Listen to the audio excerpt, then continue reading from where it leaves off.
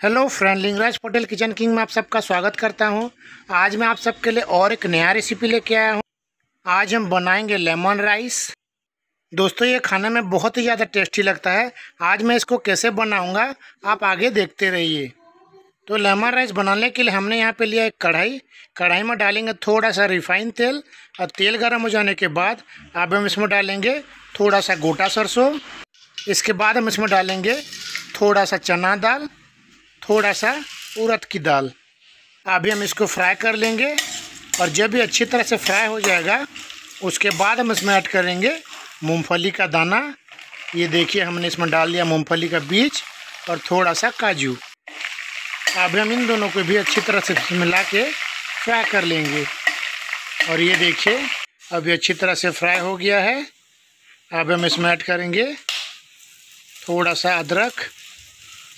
दो सूखी मिर्ची और इसको भी हल्का सा फ्राई कर लेंगे। ये देखिए, ये भी अच्छी तरह से फ्राई हो गया है। अभी हम इसमें ऐड करेंगे खूब सारा कड़ी पत्ता। इसको डालने से इसमें बहुत ही अच्छा फ्लेवर आता है। इसके बाद हम इसमें डालेंगे थोड़ा सा हल्दी पाउडर। हमने यहाँ पे छोटा चम्मच में दो चम्मच हल्दी पाउडर लिया है और इसको भी इसमें मिक्स कर देंगे। और इसको मिक्स करने के बाद इसमें ऐड करेंगे चावल। दोस्तों, हमने चावल को पहले ही बना के उसको रख लिया था। ये बासमती चावल है। और चावल को डालने के बाद इसमें ऐड करेंगे नमक स्वाद के अनुसार और इसके ऊपर एक आधा टुकड़ा नींबू को भी निचोड़ देंगे। और नींबू को निचोड़ने के बाद इसको हम इसमें अच्छी तरह से मिक्स कर लेंगे। अभी हम इसको थोड़ी देर धीमी आँच पे ऐसे ही पकाएँगे। उसके बाद ये बन के रेडी हो जाएगा। और ये देखिए दोस्तों अभी अच्छी तरह से मिक्स हो गया है और हमारा लेमन राइस बन के रेडी हो गया है।